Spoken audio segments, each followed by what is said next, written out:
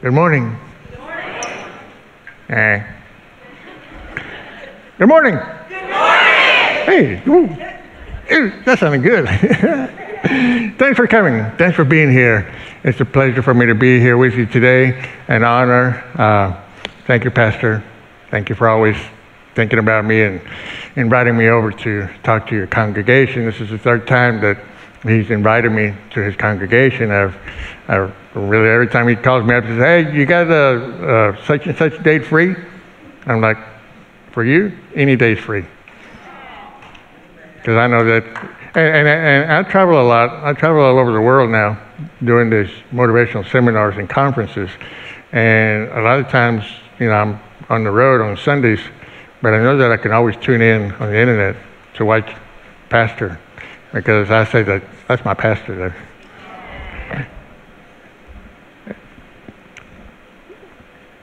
When he first invited me, oh, by the way, you, didn't tell him that uh, the ending of the story about the car wash, did you? You didn't tell him the ending. Do You ever know how the story ended, really? He asked me, he said, by the way, where are you going? And I said, well, I'm going that way. He said, good. That, in that case, I'm going that way.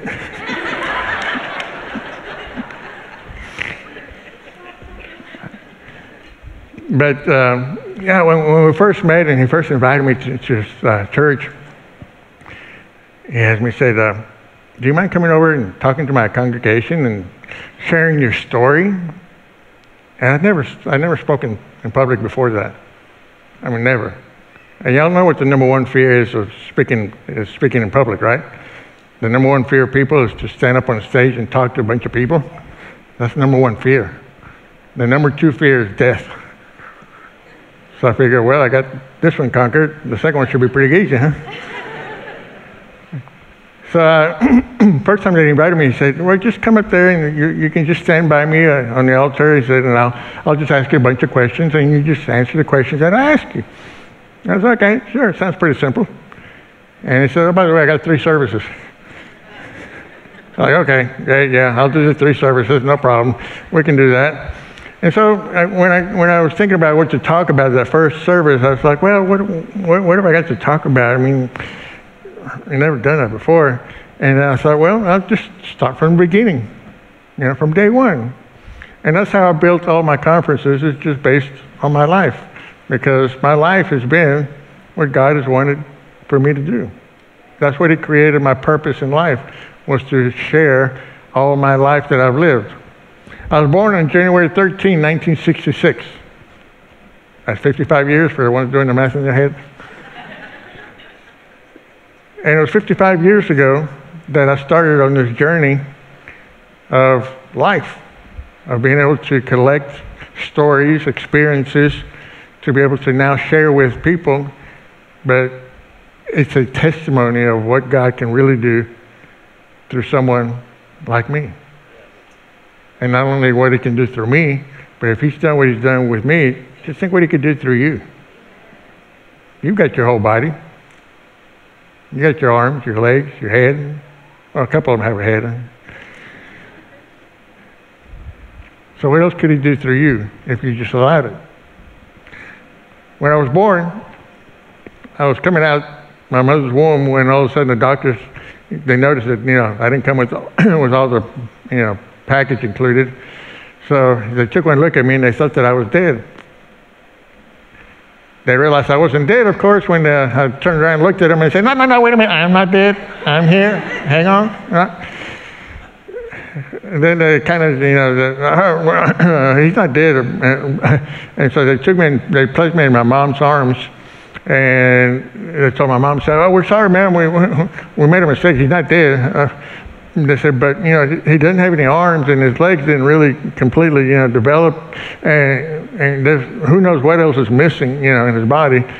So we don't know how long he's going to live. And so they gave my mom the advice to enjoy every second of life that they could spend with me, because they didn't know for how long I was going to be here. As a matter of fact, they didn't give my mom a lot of hope. They said he probably won't be here, but maybe just a couple hours or a couple of days but don't expect a lot. My mom didn't know what to think at the time. She just kind of you know, she took me in her arms. She hugged me real tight. And she just hugged me. And then she looked at me and she said, Let it be God's will. That's all she said. Let it be God's will. I don't know if she realized at the moment just exactly how powerful, how powerful those words were. And she really realized what it was that she was saying at that moment of placing my life in God's hands and saying, God, do your thing. And so as life went on, they realized that I was going to be around for more than just a couple hours.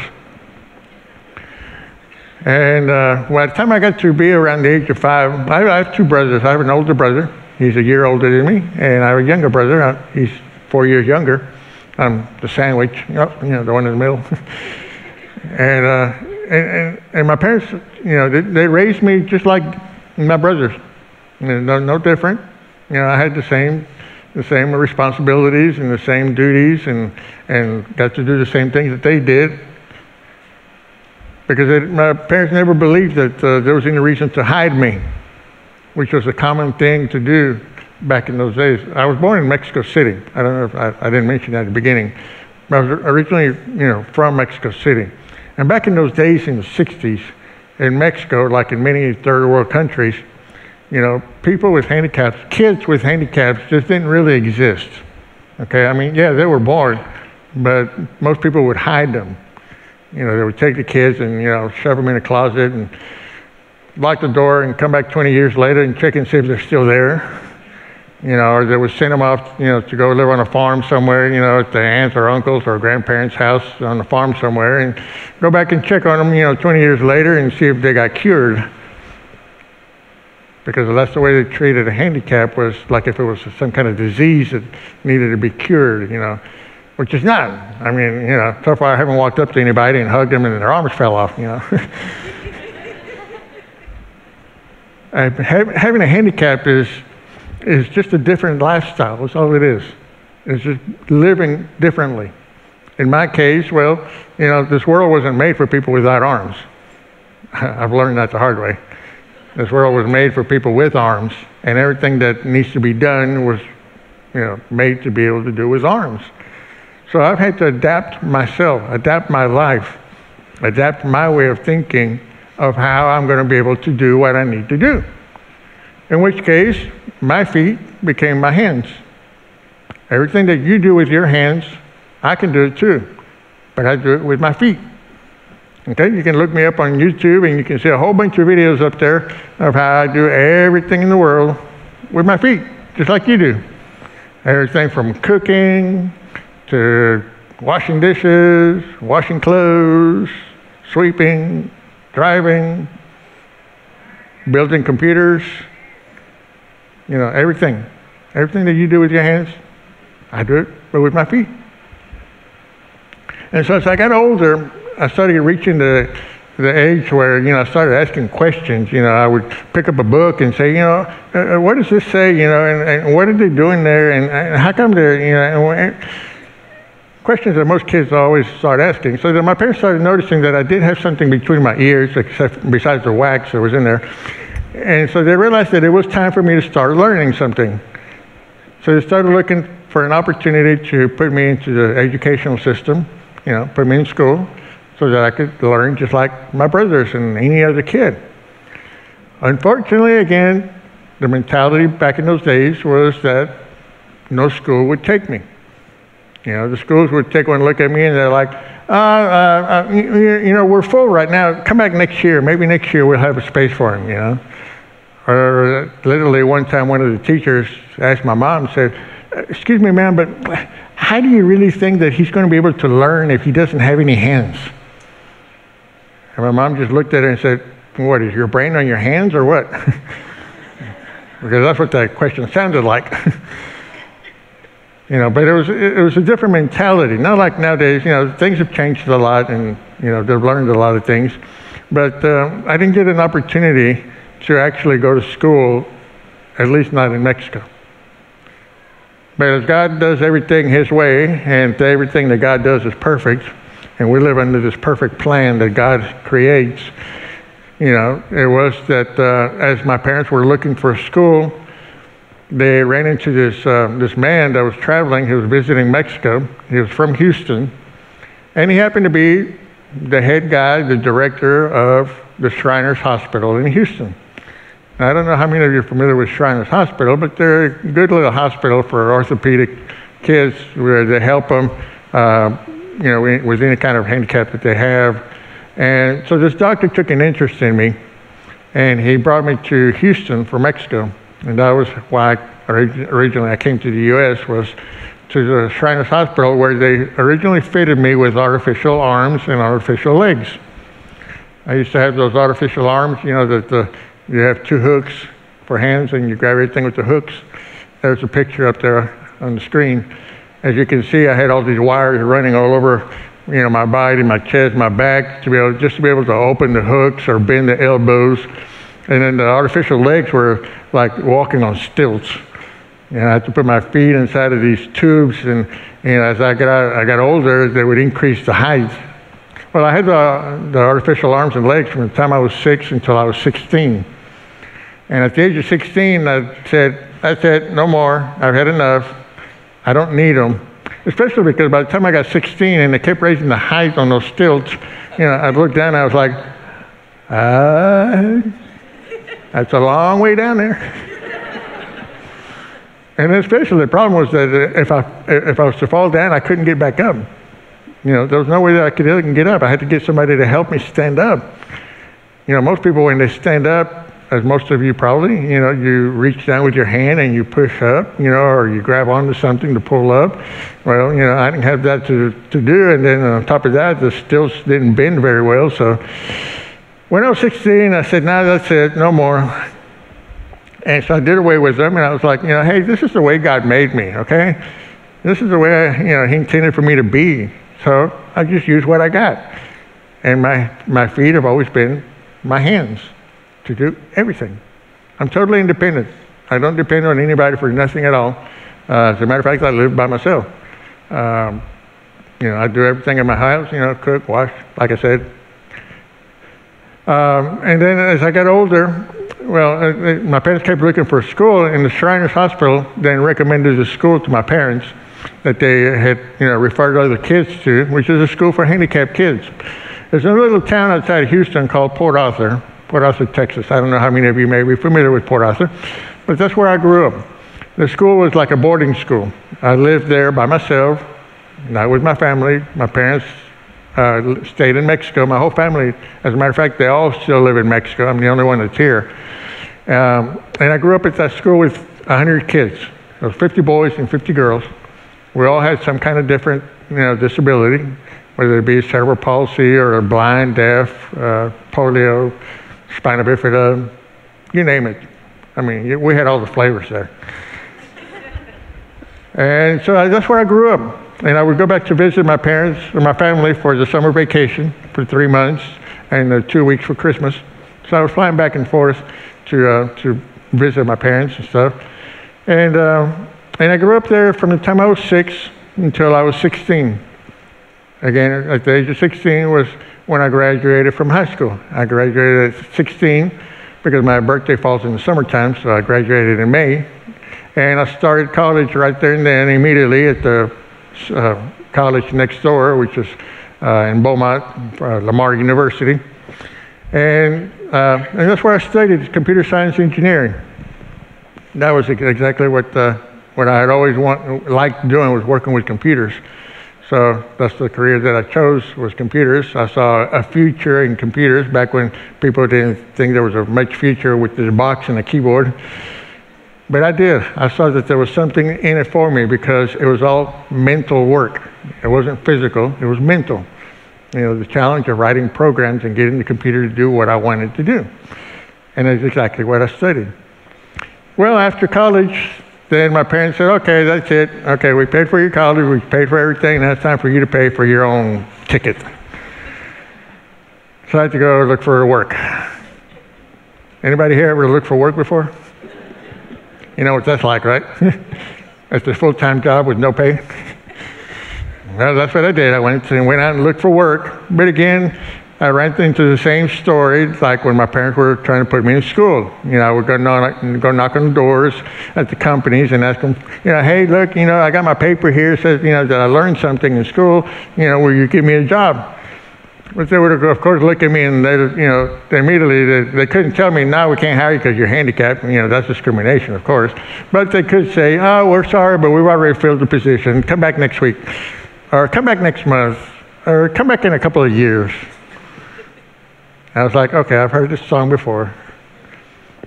And so one day I was, I was with a friend of mine, and he told me, he said, Gabriel, you're never going to get a job. I was like, gee, thanks. I thought you were my friend. thanks for the encouragement. And it's like, no, no, no, seriously. He said, you're never, you're never going to get a job. He said, if you keep doing the same thing that you're doing. And I said, well, what's wrong with what I'm doing? I mean, I'm looking for a job just like everybody else. You know, I look in the paper, send them a copy of my resume, call for an interview, go to the interview. He said, yeah, and then what? Well, then they tell me, uh, know, sorry, but the position's already been filled. Don't call me. I'll, you know, we'll call you. Exactly. That's, that's why you're never going to get a job. Because you keep doing the same thing over and over and over that keeps getting you rejected. If you keep doing the same thing, you're going to keep getting the same results. He said, You've got to learn how to think outside the box. I was like, The box? Uh, what box? I don't see no box around here. He said, Yeah, you got to think outside the box. He said, Have you ever watched a mouse inside of a box? I was like, No, I don't play with mice. And he's like, well, a, a mouse in a box, all he knows how to do is go around and around and around and around and around and around and around and around and around and around until he dies. That's all a mouse knows how to do. He doesn't know how to get out. He's saying that's how most people live their life. They live their life going around and around and around and expect to have something better and get a better life and get, you know, forward when they're not looking outside the box. All they're doing is going around and around and around until they die. He said, You want something different? Do something different. Well, I didn't understand what my friend was telling me at that time with that story. So I said, Yeah, yeah, yeah. Okay, yeah, sure. See you later. Take your box with you. and so then later, I, you know, one night I woke up in the middle of the night and I had this great idea. You want to know what my idea was? No, you don't want to know? Well, tell me, yeah. There you go. My great idea was if nobody was going to hire me, then I'd just start my own business. what a great idea. Yeah. I'll be my own boss. Yeah. I don't have to, uh, I'm not going to tell myself no, right? don't have to send a copy of the resume. I already know the story. don't have to negotiate a salary. Don't have to call in sick to work if I don't feel like working. yeah, I'll be my own boss. So I ran to the courthouse, registered my business name, came back home, stuck up a piece of paper up there next to the one saying that my college was paid for. And then I sat at my desk and I was like, oh man, now what? A business is not a business if you don't have customers. Where do you get those at? my mom didn't teach me that. College didn't teach me that. So where do you where do you get customers? I was like, think, think, think. Okay, let's think outside the box here. Where's the box? Let's go get a box. So then I thought about it, and I was like, ah, I know what I'll do. So I picked up this tablet where I was keeping track of all the companies that I had previously called them uh, for an interview and went to the interview and knew exactly what they wanted, but they rejected me as an employee. So what I did was I was calling them back. But this time, as I was calling them back, I wasn't calling them to ask for work not as an employee. I was calling them as a business, as a company. And I would say, hey, we know you need this program.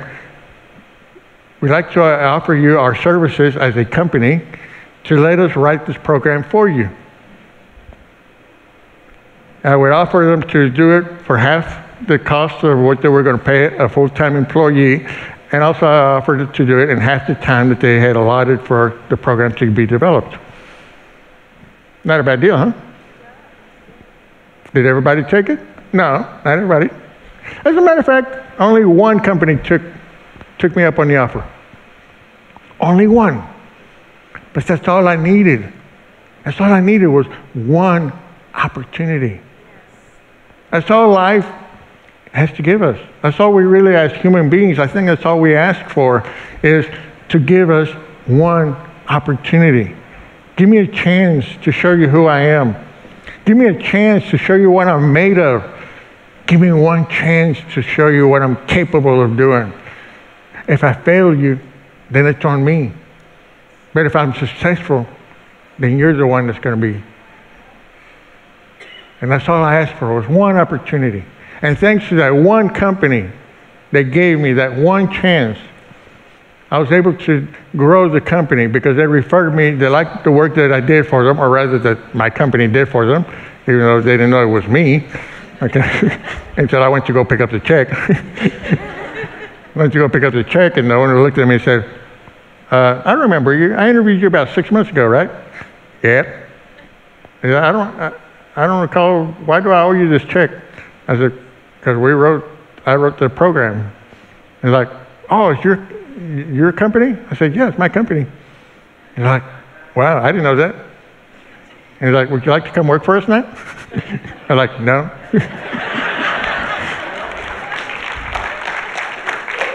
But, but, he, but he, he, referred me to some of his customers and some of his vendors, and within the first three years, I was already grossing two and a half million dollars a year. Not bad for a kid that wasn't supposed to be able to learn because he didn't have hands, or a kid that was only supposed to live for a couple hours, or a couple of days. Thanks to that, uh, that business that I had, writing programs, we then started selling the programs to uh, well, I was able to hire more people to work for me. Uh, and then we started writing programs for other companies, and these companies then started sending us to other countries, mostly Mexico and Latin America, uh, because I'm, you know, speak Spanish. And so with that, uh, my business grew, and as I would travel to like Mexico and, and stuff, they would say, "Hey, you think you can get us these uh, computers and these programs and uh, these printers and all these things from the U.S. cheaper than we can buy them here in Mexico?" I was like, yeah, yeah, I can get it cheaper over there. Well, guess what? I started a second company that was an import-export company, where I was importing and exporting, you know, stuff down down south. So then, as the uh, years went by, the, a couple of years later, the internet was born, and uh, my customers started calling me, asking me, "Hey, Gabriel, you know anything about this thing they call the internet? Anything about it? Something about an email? You know what that is?" I was like, yeah, I know a little bit about email, yeah. And like, yeah, well, we need to get an email set up because the government said they won't do business with us unless we have an email address.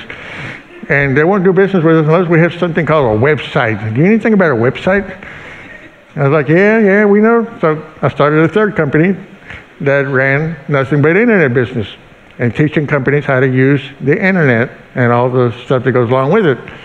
And then later on, the company started saying, "Hey, Gabriel, we got these products and stuff. We, you know, we'd like to be able to sell on the internet. Do you know anything about how to sell on the internet, how to market, you know, and the search engines and all that good stuff?" Yeah, yeah, I know a little bit about that too. Well, I started a fourth company that dedicated itself to nothing but the internet.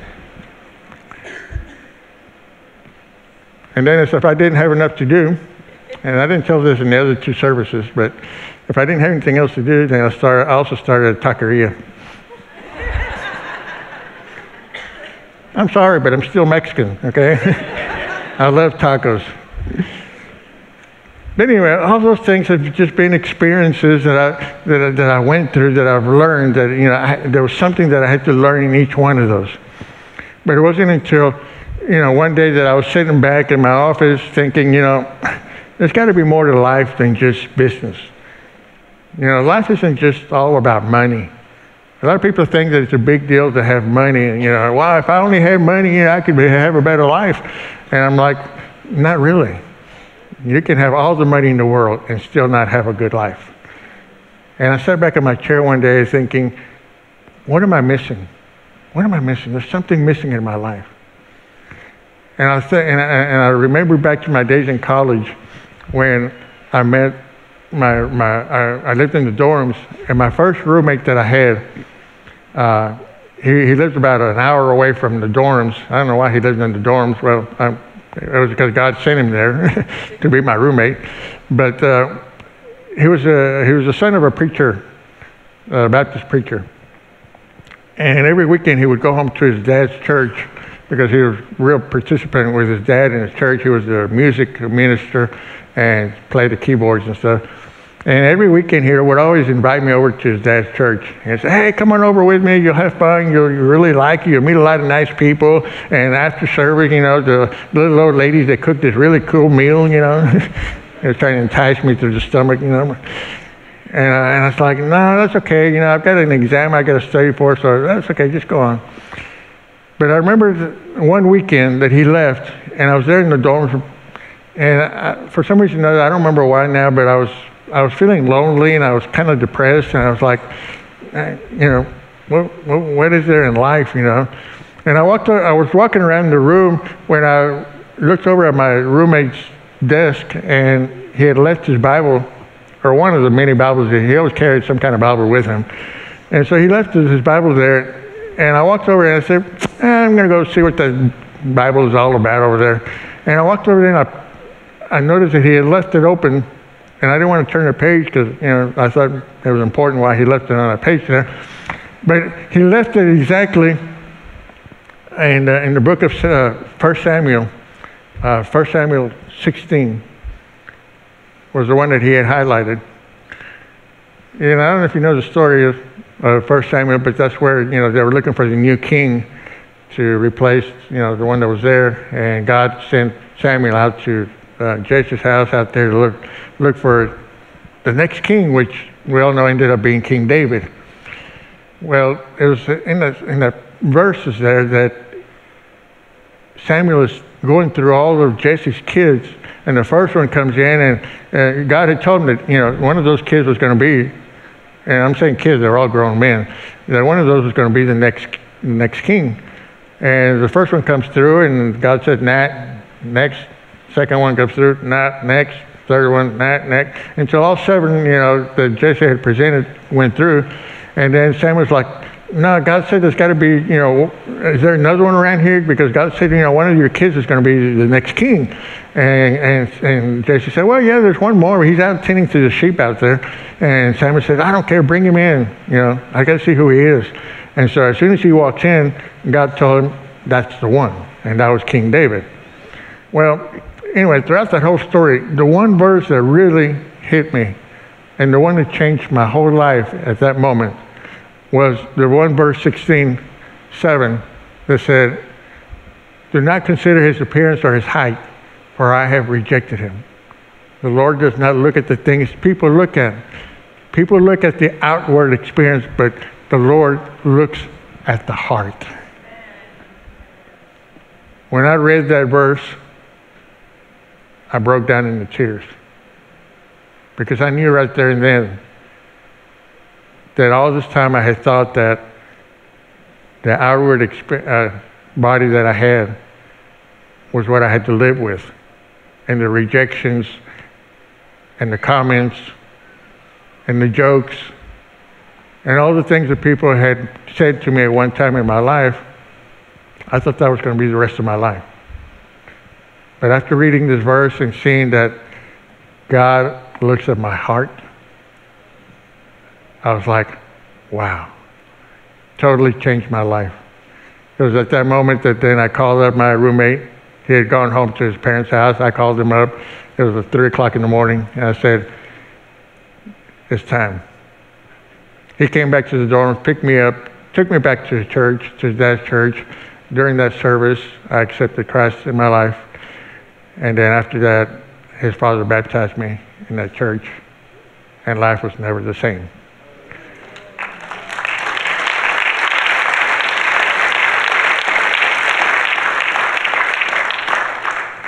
And when I look back at those, and when I had looked back at that memory and remembered that, you know, there was more, there was more to life than just business, is then that I realized that actually my calling was to be able to do something different, to do something for God. And so it was that one day I got in my car and I went to the car wash.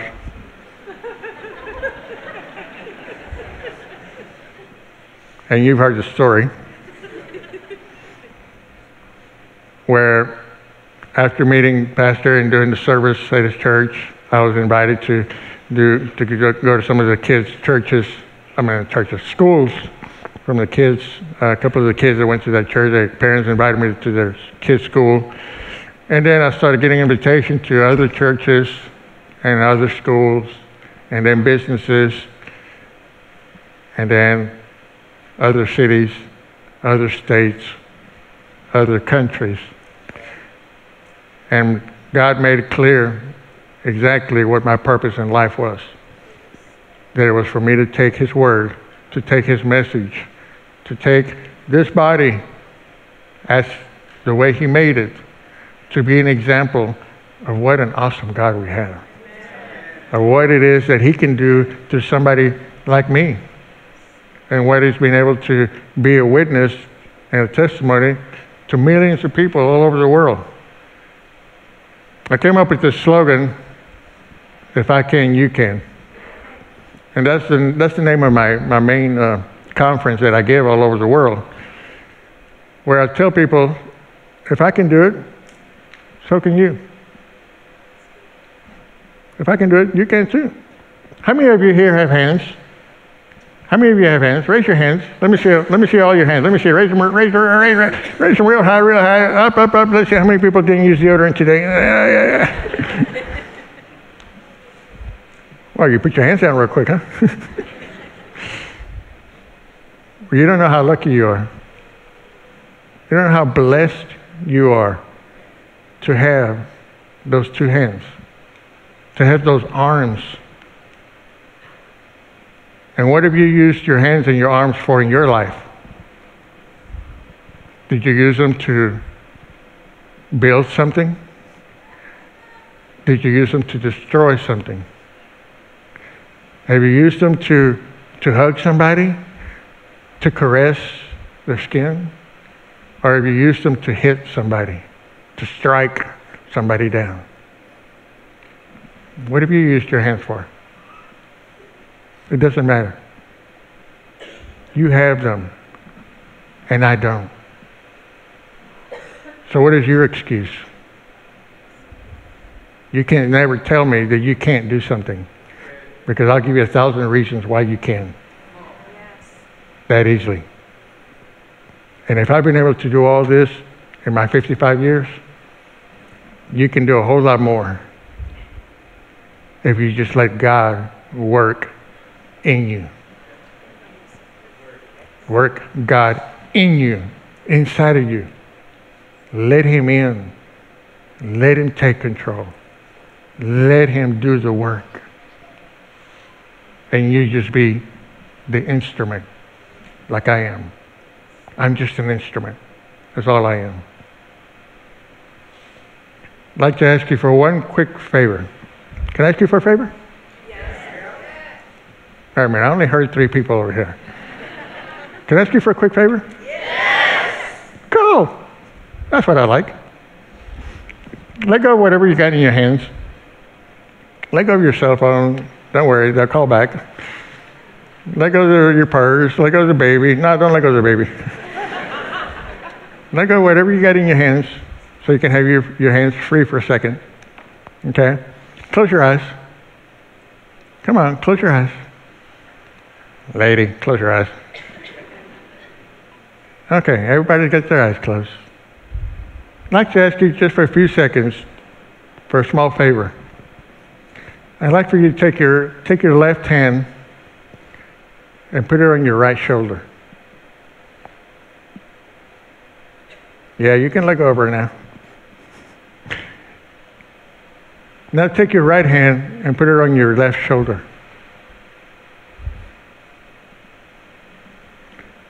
I'd like to ask you, as a small favor, to let me borrow your hands and your arms as if they were mine for a few minutes so I can hug you. I want you to let me hug you to be able to share the share the love, share the joy, share the hope that I've come to that I've come to know, that I've come to learn. and to now make it a part of your life. The day I was born, my mom took me in her arms and she hugged me real tight, the same way that I'm hugging you right now. She hugged me real tight and she said, Let it be God's will. Well, I'm here to tell you that exactly what my mom asked for, she got. Because my whole life has been God's will and will continue to be God's will because it's my choice. With this hug, this is a hug that you can give yourself anytime in your life, anywhere that you are, no matter where you're at. If you're ever at a moment where you feel alone, where you're feeling lonely, if at any time you're feeling sad, if at any time you feel like there's no one to turn to and you can't find a way out, you can give yourself this hug and remember the few moments that I came to spend with you today to tell you that it's okay. God loves you. God loves me. God loves all his people. He doesn't look at your outward appearance. He doesn't care what country you're from. He doesn't care the color of your skin. He doesn't care the color of your hair or if you have hair or don't have hair. What he cares about is what's in your heart. Let him be what's in your heart. And remember this hug at any time in your life. And the three simple words that I came to, to share with you today that if I can, you can. And more importantly, that we can do all things through Christ who lives in us.